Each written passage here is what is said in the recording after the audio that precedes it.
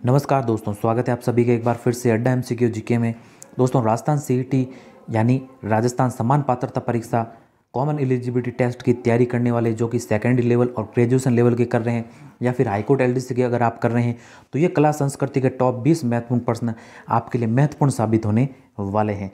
तो वीडियो के अंत तक बने रहिएगा दोस्तों। इसमें हम जो कि हमारे रोज़ाना बीस प्रश्नों की क्लास होती है दोस्तों ये होती है आपके कला संस्कृति की। बेहद ही जल्द हम भूगोल की क्लासेस भी शुरू करेंगे। तो इम्पोर्टेंट ये प्रश्न, आपके 20 महत्वपूर्ण प्रश्न राजस्थान की होने वाली परीक्षाओं में महत्वपूर्ण साबित होंगे। सी के अलावा अगर आप अन्य किसी भी परीक्षा की तैयारी कर रहे हैं तो भी ये प्रश्न आपके लिए महत्वपूर्ण साबित होंगे। चलिए, बिना देरी के शुरू करते हैं। प्रश्न की ओर आते हैं हमारे। समय को व्यर्थ किए बिना, चलिए। तो प्रश्न है हमारे, पहला प्रश्न आपके सामने मूसी महारानी की छतरी कहाँ स्थित है? इंपॉर्टेंट प्रश्न दोस्तों, बताइए इसका सही उत्तर क्या होगा? मूसी महारानी की छतरी कहाँ पर है? ये दोस्तों कहाँ पर? अलवर में। कहाँ पर है दोस्तों? अलवर में। अविकल्प इस प्रश्न का यहाँ पर सही उत्तर है। और ये अस्सी खंभों की छतरी है। कितने दोस्तों? अस्सी खंभों की छतरी है। और इसका निर्माण दोस्तों 1815 में। इसका निर्माण 1815 में बख्तावर सिंह के पुत्र किसने? बख्तावर सिंह के पुत्र विजय सिंह ने। विजय सिंह ने दोस्तों इसका निर्माण कराया था। मूसी महारानी की छतरी का निर्माण। कहाँ पर है ये दोस्तों? अलवर में। कहाँ पर है अलवर में? कई बार प्रश्न पूछा गया है दोस्तों, कहाँ पर है मूसी महारानी की छतरी? अलवर में। अविकल्प यहाँ पर सही उत्तर है। और दोस्तों, ये प्रश्न राजस्थान की R S M S S B board, जो अधीनस्थ बोर्ड है आपके, विभिन्न परीक्षाएँ आयोजित करवाता है तो उन परीक्षाओं में पूछे गए ये प्रश्न है। आपके लिए महत्वपूर्ण ज़रूर साबित होंगे। चलिए, दूसरा प्रश्न है आपके सामने। जयपुर चित्रकला शैली का स्वर्णकाल किस शासक के काल को माना जाता है? तो जयपुर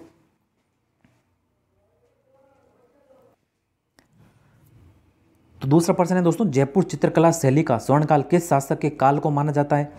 तो किस शासक के काल को माना जाता है दोस्तों? जयपुर चित्र शैली का स्वर्णकाल। ये माना जाता है दोस्तों, सवाई प्रताप सिंह के काल को। कौन से, किसके काल को? सवाई प्रताप सिंह के काल को। द विकल्प यहाँ पर सही उत्तर है। और ध्यान रखिएगा, इनके जो जयपुर चित्र शैली के चित्रकार हैं साहिब राम एक तो साहिब राम इनके बारे में भी कई बार प्रश्न पूछा जाता है कि साहिब राम का संबंध किस चित्रशैली से? एक है दोस्तों शालिग्राम। कौन? शालिग्राम। शालिग्राम को भी ध्यान रखिएगा। एक है दोस्तों आपके लालचंद। कौन है? लालचंद। तो इसका भी नाम ध्यान रखिएगा। साहिब राम सालिग्राम और लालचंद। तो द विकल्प है, वो हमारे इस प्रश्न का सही उत्तर है। सभी प्रताप सिंह के काल को जयपुर चित्र शैली का स्वर्ण काल माना जाता है। चलिए, आते हैं अगले प्रश्न की ओर। अगला है तीन नंबर प्रश्न, कालीबाई राजस्थान के किस आंदोलन से संबंधित है? तो कालीबाई का संबंध दोस्तों, राजस्थान के किस आंदोलन से है? तो ध्यान रखिएगा अच्छा प्रश्न है ये भी दोस्तों। तो कालीबाई का संबंध है दोस्तों, रास्तापाल आंदोलन से। किससे है दोस्तों, रास्तापाल आंदोलन से? तो स विकल्प होगा, यहाँ पर सही उत्तर। और 19 जून को एक घटना घटित हुई थी दोस्तों। 19 जून को ये एक घटना हुई थी, जिसमें कालीबाई दोस्तों शहीद हुई थी। और रास्तापाल से, रास्तापाल आंदोलन तो क्या, रास्तापाल से संबंधित है ये। ध्यान रखिएगा, सविकल्प इस प्रश्न का सही उत्तर है। चलिए, आते हैं चार नंबर की ओर। चार नंबर है, गुर्जर प्रतिहार वंश के शासक किस शासक ने अपनी राजधानी मंडोर से मेड़ता स्थानांतरित की। तो गुर्जर प्रत्यार वंश के कौन से शासक ने अपनी राजधानी मेड़ता से मंडोर से मेड़ता स्थापित की? तो ये भी अच्छा प्रश्न है दोस्तों। तो नागभट्ट ने, किसने दोस्तों, इनमें से नागभट्ट ने और नागभट्ट प्रथम ने, नागभट्ट प्रथम ने दोस्तों अपनी राजधानी मंडोर से कहाँ पर स्थापित कर दी थी? मेड़ता। तो सविकल्प होगा इस प्रश्न का सही उत्तर। चलिए तो अगला प्रश्न है दोस्तों आपके सामने दोहरी रक्षा प्रसवीर के साक्षी। राजस्थान की किस सभ्यता से प्राप्त हुए हैं? तो दोहरी रक्षा प्रसवीर या फिर दीवार के साक्ष्य दोस्तों राजस्थान की कौन सी सभ्यता से प्राप्त हुए हैं? ये प्राप्त हुए दोस्तों राजस्थान की कालीबंगा सभ्यता से। कौन सी सभ्यता से? कालीबंगा सभ्यता से। तो सविकल्प इस प्रश्न का सही उत्तर है।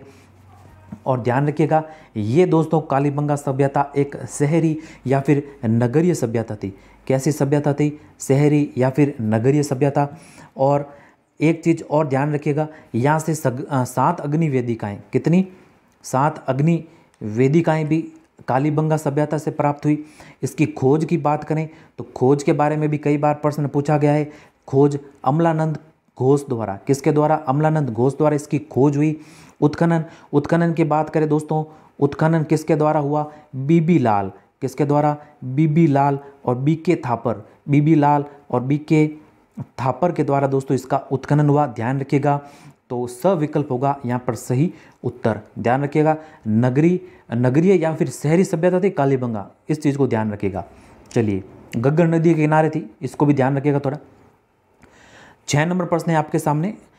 आमेर राजा बिहारी मल की पुत्री का विवाह अकबर के साथ कहाँ हुआ? तो आमेर राजा बिहारी मल की पुत्री का विवाह अकबर के साथ दोस्तों कहाँ पर हुआ था? उम्दा प्रश्न दोस्तों। सांबर में। कहाँ पर हुआ था सांबर में? सांबर कहाँ पर है? जयपुर में दोस्तों। स विकल्प यहाँ पर सही उत्तर है और ध्यान रखिएगा। बिहारी मल की पुत्री दोस्तों, जिन्हें जोधाबाई जोधाबाई या फिर हरकाबाई, जोधाबाई या फिर हरकाबाई के नाम से भी दोस्तों जाना जाता है इन्हें। और इनके जो पुत्र थे, सलीम, और इन्होंने दोस्तों इन्हें मरियम उजमानी मरियम मुजमा ने भी कहा। और इनका विवाह दोस्तों, जो डेट है, इनकी एनिवर्सरी के डेट की बात करें तो छः जनवरी छः जनवरी पंद्रह सौ बासठ, पंद्रह सौ बासठ में दोस्तों इनका विवाह हुआ था अकबर जोधाबाई या फिर अरकाबाई का। स विकल्प यहाँ पर सही उत्तर है। काम पर, कहाँ पर हुआ था? सांबर में। अच्छा पर्सन है दोस्तों ये भी। चलिए, आते हैं सात नंबर की ओर। सात नंबर पर्सन है दोस्तों, अली बख्शी ख्याल राजस्थान के कौन से क्षेत्र में प्रचलित लोक नाट्य शैली है? बेहद उमदा पर्सन दोस्तों। तो दोस्तों, अली बख्शी ख्याल, ये अलबख्श राजा के काल की है दोस्तों। अलबख्श, राजा अलबख्श के काल की।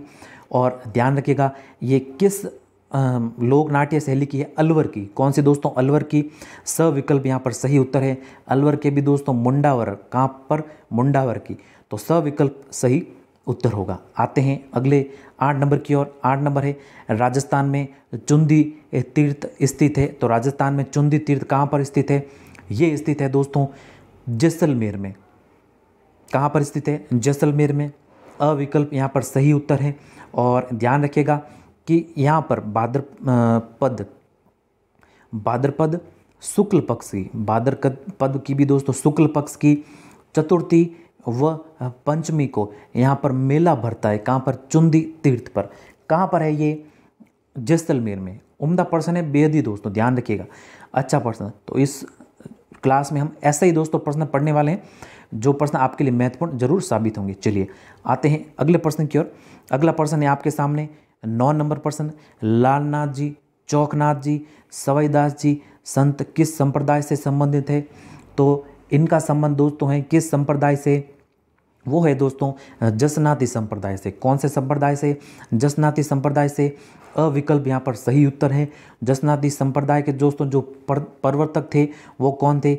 जसनाथ जी। कौन थे दोस्तों? जसनाथ जी इस, इनके बारे में भी थोड़ा ध्यान में रखिएगा। और इनके जो अनुयायी होते हैं, वो छत्तीस नियमों का पालन करते हैं। कितने नियमों का दोस्तों? छत्तीस नियमों का। और विष्णु संप्रदाय के तो आपको पता ही है, कितने नियमों का करते हैं? उनतीस नियमों का। और इस, इनके जो विष्णु संप्रदाय के प्रवर्तक थे, वो कौन थे? जाम्बो जी। ध्यान रखिए इसके बारे में भी।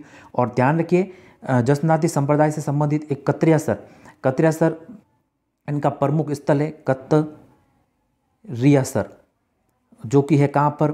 बीकानेर में। कहाँ पर है दोस्तों? बीकानेर में। और अग्नि नृत्य। कई बार पूछा गया है कि अग्नि नृत्य का संबंध किस संप्रदाय से है? वो है जसनाती संप्रदाय से। अविकल्प यहाँ पर सही उत्तर है। आते हैं दस नंबर प्रश्न की ओर। दस नंबर प्रश्न है, राजस्थान में तेरह पंथ के पर्वतक रहे हैं। तो दोस्तों, राजस्थान में तेरह पंथ के पर्वतक कौन रहे हैं दोस्तों? ये रहे हैं दोस्तों, भीखण जी। कौन रहे हैं? भीखण जी। द विकल्प यहाँ पर सही उत्तर है। और ध्यान रखिएगा, जो श्वेतांबर शाखा है, जैन, जैनों की, श्वेतांबर। इसकी दोस्तों, उप शाखा है कौन सी? तेरापंथी। कौन सी है? तेरापंथी। तो द विकल्प यहाँ पर सही उत्तर है। चलिए, आते हैं ग्यारह नंबर प्रश्न की ओर। अनमेल विवाह और बाल विवाह निषेध अधिनियम सबसे पहले अलवर रियासत में किस वर्ष बनाया? अच्छा प्रश्न दोस्तों तो अनमेल विवाह या फिर बाल विवाह निषेध अधिनियम सबसे पहले दोस्तों, अलवर रियासत ने बनाया। किस वर्ष बनाया? वर्ष की बात करें तो वर्ष तो है 1903 डेट है आपके 10 दिसंबर। ब विकल्प यहाँ पर सही उत्तर है। चलिए, आते हैं नेक्स्ट प्रश्न की ओर। नेक्स्ट है आपके सामने बारह नंबर दोस्तों, स्वामी दयानंद सरस्वती द्वारा अठारह ईस्वी में परोपकारिणी सभा की स्थापना कहाँ की बेहद अच्छा प्रश्न दोस्तों तो स्वामी दयानंद सरस्वती द्वारा 1813 में परोपकारिणी सभा की स्थापना की गई तो ये भी प्रश्न बनता है कि परोपकारिणी सभा की स्थापना सबसे पहले तो कहाँ हुई सॉरी कब हुई ये हुई अठारह में किसने की स्वामी दयानंद सरस्वती ने कहाँ पर हुई तो ये हुई दोस्तों उदयपुर में कहाँ पर हुई उदयपुर में द विकल्प यहाँ पर सही उत्तर है चलिए नेक्स्ट क्वेश्चन है आपके सामने। तेरह नंबर दोस्तों, सुमेल का युद्ध लड़ा गया। तो इसे कह सकते हैं सुमेल गिरी का भी युद्ध। तो सुमेल गिरी का युद्ध लड़ा गया दोस्तों, कब? सन तो है आपके पंद्रह अगर आपको सन केवल याद करते हैं तो डेट भी याद करनी ज़रूरी है, क्योंकि यहाँ पर दे दिया, आप देखिए। अब यहाँ पर पंद्रह सौ चौवालीस है, पंद्रह सौ चौवालीस, पंद्रह सौ चौवालीस सब में सरल पर्सनल लग रहा है, लेकिन गड़बड़ कर सकता है, क्योंकि सन तो यहाँ पर सभी में सेम है, लेकिन जो डेट है, वो है दोस्तों यहाँ पर जनवरी। जनवरी की भी कौन सी? पाँच जनवरी। ध्यान रखिएगा, पाँच जनवरी पंद्रह को गिरी सुमेल का युद्ध। सुमेल नामक स्थान जो कि वर्तमान में दोस्तों पाली में कह सकते हैं हम, पाली में आता है दोस्तों, और ये लड़ा गया दोस्तों जोधपुर के शासक मालदेव। जोधपुर के शासक दोस्तों मालदेव और शेरशाह सूरी के मध्य, शेरशाह सूरी के मध्य दोस्तों ये युद्ध लड़ा गया था। और जो अविकल्प है, वो यहाँ पर सही उत्तर है। और जैंता और कुपा, जो कि दोस्तों इनके सेनापति थे मालदेव के तो इनको भी ध्यान रखिएगा। जैता और कोपा का संबंध भी गिली सुमेल युद्ध से है। चलिए, आते हैं तो इस प्रश्न का जो तो सही उत्तर है, वो है हमारे विकल्प अ। आते हैं, नेक्स्ट की ओर।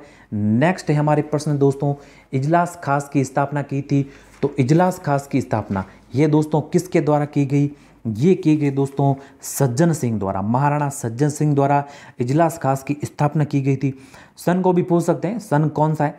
अठारह में अठारह में इसका गठन हुआ था और ये प्रशासनिक सुधार गठन था। कैसा? प्रशासनिक सुधार विभाग था। प्रशासनिक सुधार विभाग था, जिसमें कोई प्रशासनिक संबंधी कार्य होते थे, वो दोस्तों इजलास खास में होते थे। सन पूछे 1877 किसने की? महाराणा सज्जन सिंह ने। ब विकल्प, सही उत्तर है। चलिए, आते हैं पंद्रह नंबर की ओर। पंद्रह नंबर है, किस प्रजामंडल आंदोलन के तहत कृष्ण दिवस मनाया गया? तो किस प्रजामंडल आंदोलन के तहत कृष्ण दिवस मनाया गया? तो बेहद उमदा प्रश्न है दोस्तों। तो ध्यान रखिएगा, एक नाम आता है दोस्तों, कृष्णा कुमारी। क्या? कृष्णा कुमारी कृष्णा कुमारी का संबंध है दोस्तों किस मारवाड़ प्रजा मंडल से। किससे? मारवाड़ प्रजा मंडल से। और इसका गठन दोस्तों हुआ था 1934 में। और कृष्णा कुमारी जो कि दोस्तों इस मारवाड़ पंजा मंडल में दोस्तों एक नेतृत्वकर्ता के रूप में कार्य कर रही थी। और लेकिन दोस्तों इनका अपहरण कर दिया गया था। इनका अपहरण कर दिया गया था। और इन्हें दोस्तों न्याय दिलाने के लिए। इन्हें न्याय दिलाने के लिए दोस्तों कृष्णा दिवस मनाया गया और कृष्णा दिवस का जो संबंध है, वो है दोस्तों मारवाड़ प्रजा मंडल से। तो इसको ध्यान रखिएगा। ब विकल्प है हमारे इस प्रश्न का सही उत्तर। बेहद ही अच्छा प्रश्न है दोस्तों इसमें। तो ये प्रश्न आपके लिए ज़रूर महत्वपूर्ण साबित होंगे। चलिए, आते हैं सोलह नंबर की ओर। सोलह नंबर है, पटेलिया, बिछिया एवं लालर प्रमुख लोकगीत है। तो पटेलिया, बिछिया एवं लालर, ये प्रमुख लोकगीत किसके हैं दोस्तों? आदिवासियों के। किसके हैं दोस्तों? आदिवासियों के। द विकल्प यहाँ पर सही उत्तर है। आते हैं अगले प्रश्न की ओर। अगला, सत्रह नंबर, गिद्दड़ नृत्य का संबंध किस क्षेत्र से है? तो गिद्दड़ नृत्य का संबंध है दोस्तों किस क्षेत्र से? सेकावाटी से। किससे है दोस्तों? सेकावाटी से। और गिद्दड़ नृत्य एक प्रकार का व्यवसायिक नृत्य है। कैसा नृत्य है? व्यवसायिक नृत्य स पर्सन सॉरी स विकल्प सही उत्तर। चलिए, अठारह नंबर प्रश्न आपके सामने। निम्न में से कौन सा तत्ववाद नहीं है? कौन सा नहीं है दोस्तों? रावणता तो है। सूर्यमंडल भी है। कामायचा भी है अब यहाँ पर सता री देर का सतारा, ध्यान रखिएगा, सतारा होना चाहिए। अगर देख नाम देकर आपको लग रहा है कि तारा, तार से तत्ववाद होगा तो ये तत्ववाद नहीं है। सतारा ध्यान रखिएगा, तत्वाद नहीं है, ये सुशीरवाद है। कैसा वाद्य यंत्र है? सुशीर वाद्य यंत्र है सतारा। सतारी नहीं है, थोड़ा ध्यान रखिए, सतारा। तो द विकल्प होगा यहाँ पर सही उत्तर। आते हैं नेक्स्ट की ओर। नेक्स्ट है आपके सामने मीनाकारी कला राजस्थान में सर्वप्रथम किसके द्वारा लाई गई? तो मीनाकारी की कला राजस्थान में सर्वप्रथम किसके द्वारा लाई गई? ये ला गई दोस्तों मान सिंह प्रथम द्वारा। किसके द्वारा? मान सिंह प्रथम द्वारा। ब विकल्प यहाँ पर सही उत्तर है। आसान है ये तो प्रश्न दोस्तों। अगला, बीस नंबर दादू पंत का अधिकांश साहित्य, अधिकांश साहित्य किस बोली में लिपिबद्ध है? तो दोस्तों, दादू पंत का अधिकांश साहित्य किस बोली में लिपिबद्ध है? ये है दोस्तों, ढूंढाड़ी बोली में। कौन सी बोली में? ढूंढाड़ी बोली में। कई बार प्रश्न पूछा गया है तो द विकल्प होगा यहाँ पर सही उत्तर। चलिए, धन्यवाद दोस्तों। ये था अंतिम प्रश्न आपके, और 20 महत्वपूर्ण प्रश्न थे ये आपके होने वाले राजस्थान की सी या फिर आज हाईकोर्ट की एलडीसी की परीक्षा में महत्वपूर्ण साबित होंगी। उम्मीद है कि ये वीडियो आपको पसंद आया होगा। पसंद आया तो वीडियो को लाइक करें, शेयर करें अपने दोस्तों के साथ। और अभी तक सब्सक्राइब नहीं किया तो प्लीज़ अभी सब्सक्राइब कर दें। इसी प्रकार के वीडियो आपके लिए आते रहेंगे। धन्यवाद। मिलते हैं जल्दी नए वीडियो में, नई क्लास में। तब तक के लिए जय हिंद, वंदे मातरम।